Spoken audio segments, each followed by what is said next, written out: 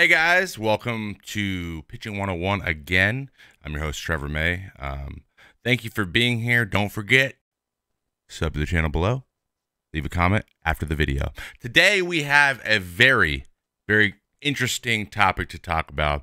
Um, a lot of you guys asked for like pitcher and catcher relationship um, information, like what I look for in catcher or, or what do I think makes a good catcher, um, things of that nature. I think that's going to be put on hold and for another video. Definitely something I want to address, especially because a lot of people that check these videos out aren't, aren't necessarily pitchers, they're position players or they're uh, um, catchers, and they're trying to figure out uh, uh, best way to fill those roles, right, for their team. So, which is great, and that's awesome. But we'll get to it next next video. This video, I was able to fi- find a really, really awesome segment on MLB Tonight. Now, I, I I apologize for the quality of the video for the for the uh, for the beginning, but this is this is how videos are uh, are um, kind of put on Twitter, like when they're full screen. This is kind of what they look like, but it doesn't necessarily matter about the video, more so the audio. So this is John Smoltz. He's uh, 21 years in the major leagues, um, uh, one of the best pitchers of all time, top to bottom. Um, incredible starter, and then became an incredible closer. So uh, he did both. Um, you know, at a Hall of Fame level, which is, you know, uh, pretty much unheard of. He's pretty much the only person to ever do it. Um, and he's talking about working out, right? And I just before we get into it, I want to I just want to clear up that I agree with about 90% of the things he says. Um, and this isn't about being right or wrong or agreeing or not agreeing or having the conversation. I want to I want to kind of translate um, what he's saying into a real life situation because I'm literally making decisions the way that he is talking about decisions being made right now. Um, the last two years I had, I've thrown 24 I've had 24 appearances in the last two years. Yes, it was Tommy John surgery. That's a long, long time, but that's a long time to be away from the game. Okay, you want to avoid injuries. It's more important than ever to be on the field. So things he's addressing are things that I'm living through and decisions I'm making in in real time. And I want to I want to talk a lot about why I make the decisions I'm making and how the process I'm going through as it pertains to what he is saying. So I thought it'd be a really cool um, a really cool exercise um, in, in kind of helping you maybe decide how you're going to make decisions um, and and how you might move forward. So this might work really well for. Uh, I think this would be a great opportunity for guys who are like in the minors at the moment, or even the low minors, or just trying to get drafted in college. That age group is going to really, really because there's just a lot of information being thrown at you uh, of how to get seen or get you know this, that, and the other. Like that is the that is the nature of our game now. Um, is like is like making noise with with velocity or with strength or with power or with you know all this stuff. Um, in order to to kind of get that short term return, but long term it might not um, be the best thing for you. But you learn that through experience, and I'm learning that through experience as well. So I'm gonna play the video. I'm going to go full screen here. You're going to see me in the bottom uh, left corner of the screen. We'll watch it, and then what I'll do is I'll stop. When I see parts I want to talk about, I'll stop, I'll break it down, we'll continue the video and go from there. All right? So without further ado, we'll just start this up really quick. Okay, so this is John Carlos Pena uh, in the middle there, a, first baseman, you know, played for the Rays a long time, and they're having a conversation about workouts. Okay? Uh, excuse the bits dropping there in the middle of the screen. I don't know why that's going. All right. Here we go. Start it up. You worked out this time of year as a, so a pitcher? Here's what I did. Every year around this time of year, I think, oh man, do I have my fastball from last year? Because we were always going to the playoffs, short time recovery, doing high reps, low weight, trying to get my arm ready to throw on the mound because when we get to spring training, that's what you want to do. I did more throwing and less of the violent weightlifting that goes on today, the newer player is bigger, stronger, faster. I mean, there's no doubt about it. And when I see what they're doing, I think I thank God every day that I played when I did because I, my body could not take what what the load that they're putting on their body, at the amount of weight and the the, the machinery and the tires they're. So first of all, there is a very important um, element here to realize, guys, and he's completely right what he basically just said there is the only thing that matters when you're a pitcher is what you do on the mound. How you get yourself to a situation where you can do that job the best is to your ability on that mound is yours to figure out. But just because a bunch of other guys are doing something, or like you you you know we live in the social media age you see all these guys going hashtag no off season they're and they're they're they're like vert jumping 40 inches and you're like i like for me specifically why do i need to jump 40 inches? I don't. It's it's literally a look how athletic i am move right? And there's a lot of workouts. You know i'm not saying that that's not people shouldn't be jumping boxes. I'm just saying i i don't see a need for me to be jumping boxes. See that distinction i'd be making? There's nothing wrong either way. Um, and so in, in, in, you know, especially when you're, I, you know, I went through the minor leagues. I went, I was drafted out of high school. You're always trying to separate yourself, right? And you're trying to add, you know, you're trying to add a projectability to your to your resume. Look how athletic I am. Look, this could translate into something in the future, right? That is kind of the the way that you get drafted and the way you get seen. Okay, but as you move forward, you need to get you, yourself to a place, comfort level wise, where where you know yourself so well that now it doesn't matter if that guy's throwing a super hyper long toss or if that guy is out there running way way way way way more poles than you or that and this is something I this is something I've had to really work on through my career and you get a certain comfort level the longer you've been around yes you earn a little respect and you get a little wiggle room uh, um, but you got to have those conversations and you got to you have to actively learn all of the time when it comes to um, how you prepare yourself and how you uh, get ready to go do your job on the mound. Extra isn't always better. Extra as opposed to eh, you know, we talk about purpose constantly here on on these on these videos he's going to talk about his purpose. He just said it. My purpose of throwing was I was on short rest. I didn't have I wasn't going to make any real resting was more important for me and then getting my arm in shape was more important to me and getting in a in an amazing in amazing physical shape, in beat shape, in in power shape wasn't wasn't as important as long as my stuff was still bouncing back. As long as I had stuff long into my career. And that rest and this is it translates into you know, high rep, low weight, he said, right? Uh, uh just more recovery. so important because baseball seasons are are insanely long. So let's let's get even farther into it. Lifting up and the ropes and all the things. So they're stronger and they're doing things for this style of baseball that makes it acceptable for them. You don't think to, you could have been the pitcher that you were, a Hall of Fame pitcher, working out like this? I, am telling you right now, if I trained to throw 98, 99, I could do it and I would have probably a six to seven year career. But yeah. because I was able to do what I did and, and pitch and, and cruise at 93, 94 with the occasional 97, 98, I ended up having a 21 year career. And so that's the difference. And they're training to throw through a brick wall, but that's the reward system they have. So I don't blame the player. But then sooner or later, you got to realize as a player, can I sustain that kind of career past six years? And right now, the evidence is not showing that a lot of players from this, from the last six years on, are going to have 10 plus year careers. And that to me is a shame because when I played and when you played, you wanted to play as you wanted a jersey ripped mm-hmm. off your back, yeah. right? And I think as a broadcaster now and as a guy who works at MLB Network, I want to see these guys play 15 years. I don't want to see them play. Okay, so now let me address this really quick. Just because you work out a lot or you do a lot doesn't necessarily mean that it's not going to translate into a long career. For example, I know a guy who uh, Matt Belisle does does more work in the weight room than anybody else, pretty much anyone on the team. But he was 37 years old, still throwing low 90s. Um, and that, but that he knew that worked for him. That guy had his pro- program down, and his body, he was he was ready to go here. Like everything, his whole his whole physi- phys- physiological side of things, he was he was always ready to go, and he stayed healthy, and he was he was a uh, that that that is the the the underlying. You have to have those before you can go compete. So he was really good at that. Um, I I just I I need to make it very very clear that uh, it's about learning you, and it's about aligning what you're learning with what your goals are.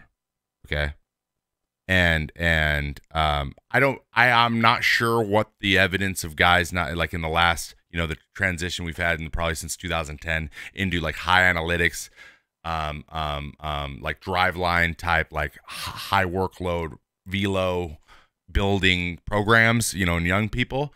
I don't think we I don't think we've built it out enough. Um, I don't know how many more Tommy Johns are happening. There, pro- there is data there. I, I don't know what it is. Um, I don't know if there is necessarily a ton of data saying guys are only going to have eight year careers now. I think that's more of a gut feeling. Um, I'm not quite sure, uh, but but again, the fact of the matter is the season is very long, especially if you if you're young and you play 80 games a year. That's a lot right?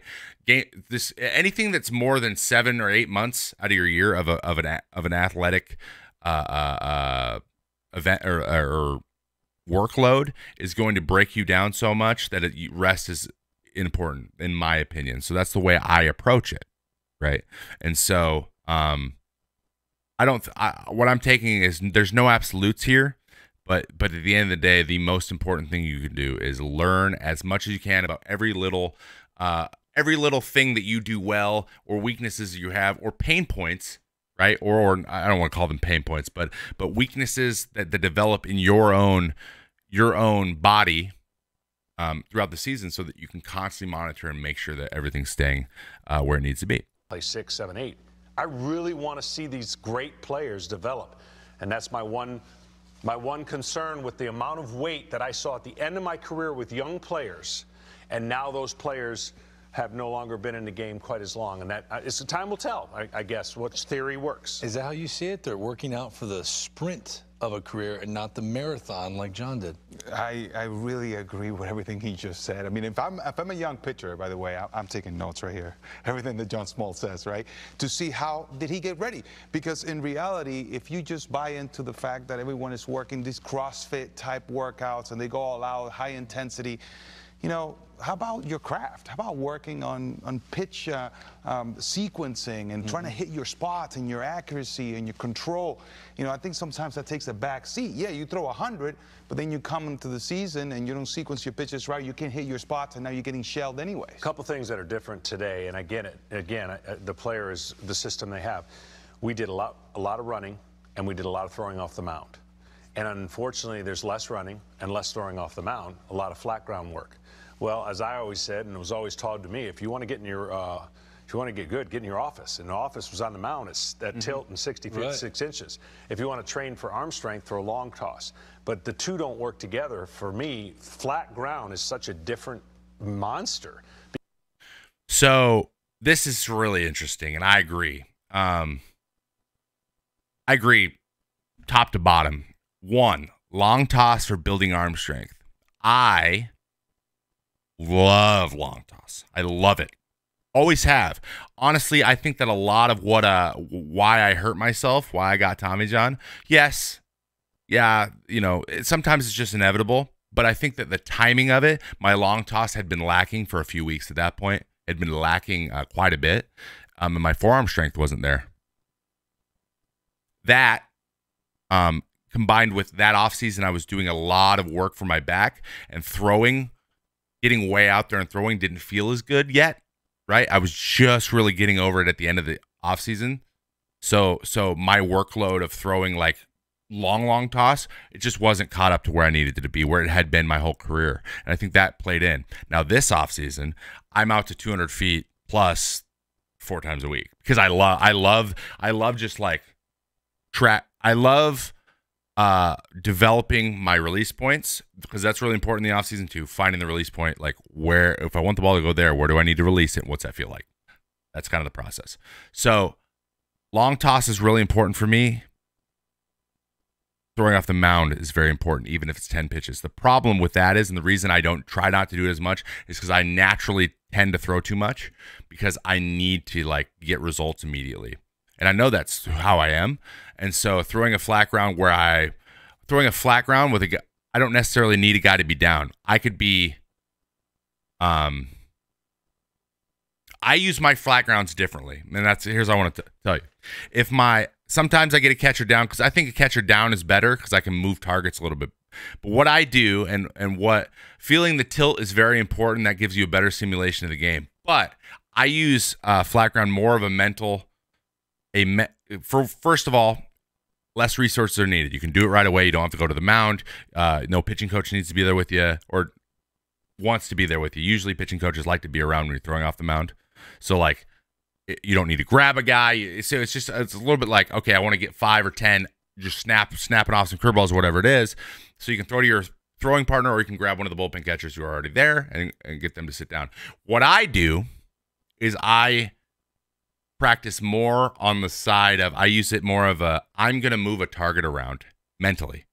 I'm going to pick a target and I'm going to allow my brain to tell my body how to adjust based on being on the flat ground. That's called it's practicing adjustments and it's really really really helpful for me. Um and that's why I don't try to throw flat ground every day because then you get used to it. So I in between, I throw flat ground more. Now if I when I'm on the mound, I do the same thing. So it, I just keep it as close as close as possible. But of course, throwing off off the slope will be the the closest to end game as you can get, and I completely understand where he's coming from there. I think that running running was the substitution for working out. Not substitution, but it it, it like it gave you that physical um um fire up that workouts would do. It gave you that maintenance of your of your strength that maintenance would it keeps your legs strong. Running does. You have strong legs when you run a lot?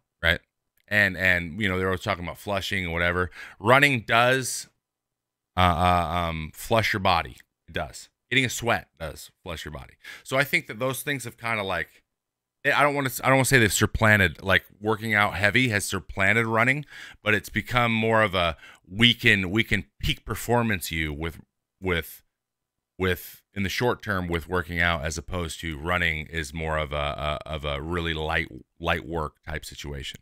And that's what he's saying. So I'm another person who likes to run, but I don't think I need to run insane amounts. I don't think you need to run insane amounts for from a cardiovascular standpoint because we play games every day.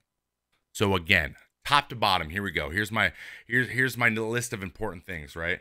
One, performing out on the mound. Everything else below it.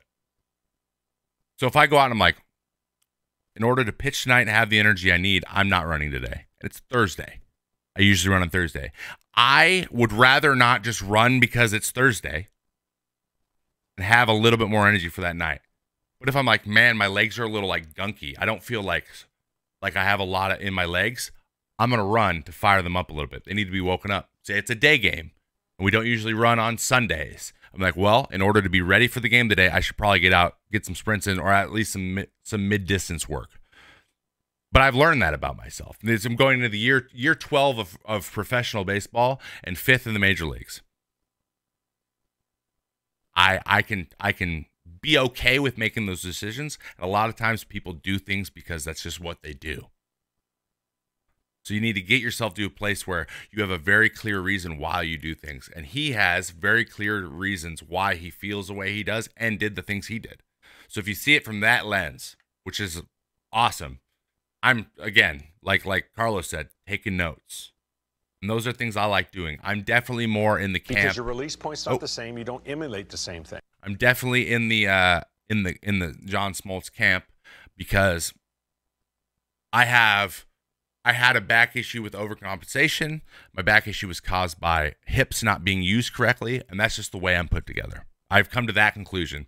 The way my body is grown, my hips aren't used correctly for long periods of time unless I unless I have tailored work to keep them firing and working correctly.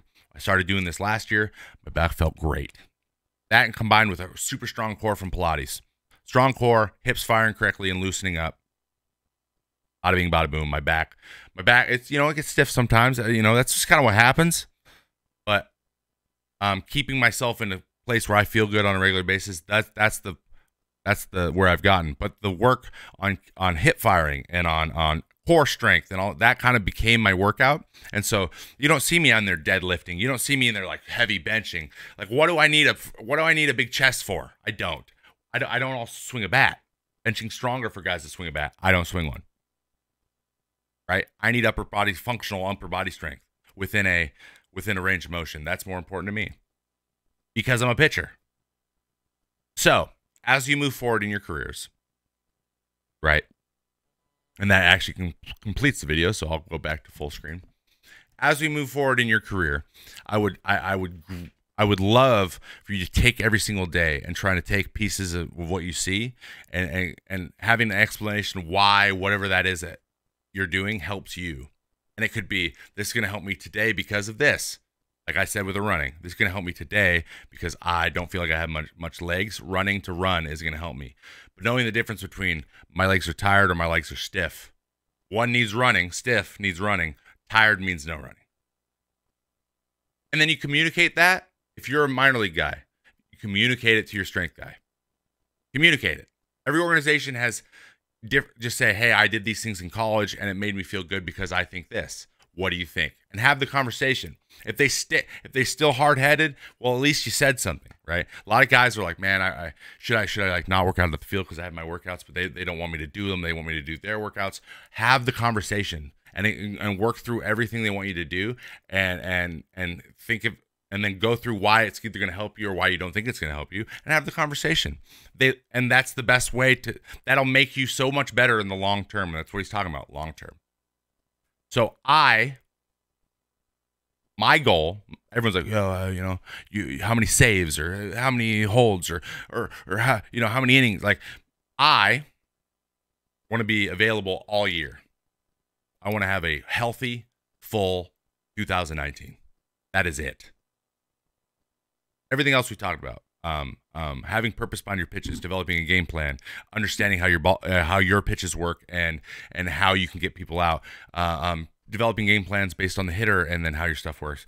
You know, going through that whole process. None of that matters unless you're on the field. So I have a goal, and it is to be on the field because I know all that other stuff will take care of itself, and that is it. So, thank you guys all for being here. This is going to be a really cool comment section, I'm sure. Don't forget to leave your comment if you heard something you're like, well, you want me to extrapolate on or you want me to go a little bit more in depth. I try my best to be uh, uh, uh, to to continue the conversations with you down there below. I really appreciate that. This was a super fun video for me to do, super interesting. I hope MLB doesn't make me take MLB uh, uh, TV doesn't make me take this down because I use their video. Hopefully, this helps further the game of baseball. But uh, you know, uh, uh, I just thought it was I I, I love the segment. I I, I uh, he had he was crushing it with everything he was saying. Um, and and I think that there's there's a lot of wisdom to be taken from there. And I just wanted to give you a little perspective on how I take those things and like apply it to what I'm trying to accomplish now. So don't forget to sub to the channel below as well. Hit the little bell so that you get uh, notifications every time I have a brand new video. We have all kinds of videos, guys. There's a bunch of video, baseball videos from the past that are covering a lot of the topics we talked about today. And uh, I will see you next time here on youtube.television, youtube.com slash I am Trevor May. Have a great one, guys.